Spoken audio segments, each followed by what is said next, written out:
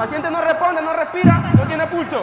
El productor Ay, no. Nicandro Díaz, una verdadera tragedia, un accidente. En la mañana le reportábamos que se solicitaban donadores de sangre, pero lamentablemente perdió la vida. Querido por el público y por los actores, Nicandro será recordado por cada una de las producciones que realizó para la televisión mexicana.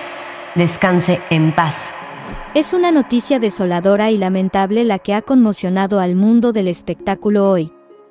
Tan solo unas horas después de que se difundiera la noticia sobre el accidente que tuvo el reconocido productor Nicandro Díaz, se ha generado un gran revuelo entre sus seguidores y la comunidad del espectáculo.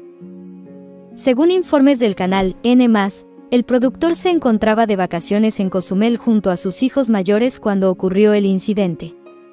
Lamentablemente, mientras disfrutaba de un momento en una moto acuática, sufrió un